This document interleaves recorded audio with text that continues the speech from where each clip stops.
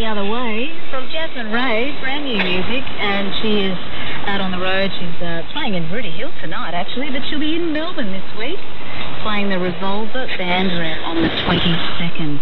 And gee, uh, she, uh, it's a really solid album from Jasmine, and I think uh, fans of Jasmine's work will be suitably impressed. You've probably got a copy already because it's out now, just released.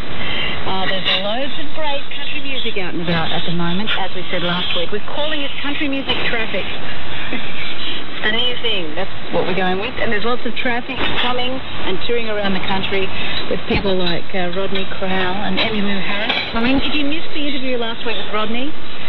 Well, there's not much I can do about that because you only had a week to jump on the web and check it out. Don't forget, you can always do that. If you miss parts of the show, you've got the week to jump online, abc.net.au, and uh, search for Saturday Night Country, and you'll find us there, and you can listen to the entire show, all your favourite bits, as many times as you like. But it will be uh, refreshed after the week with the new show, of course.